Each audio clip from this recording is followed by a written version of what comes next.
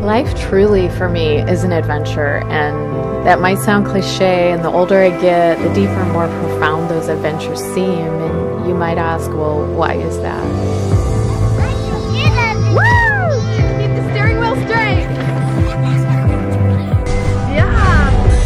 Enemies of freedom committed an act of war against our country. But for the past 136 years, they have been wars on foreign soil, except for one Sunday.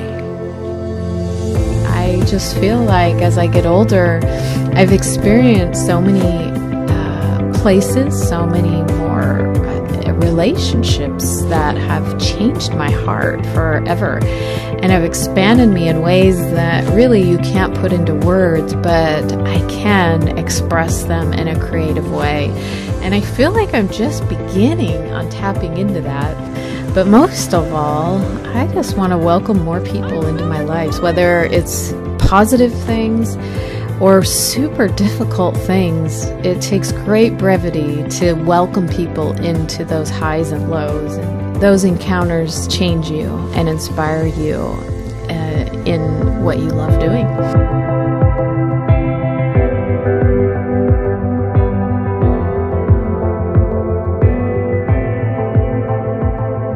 I feel blessed and honored beyond words that I have a family that we love being around each other and we truly breathe life into our gifts. And I walk down the stairs every day and I just look at what my kids are continually creating.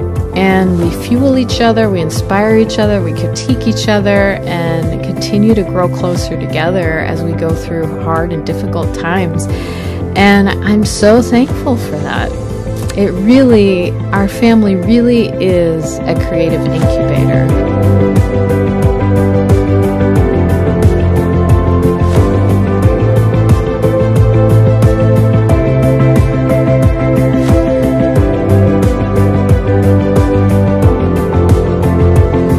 There's so much more to experience in life, and I feel really that life has just begun.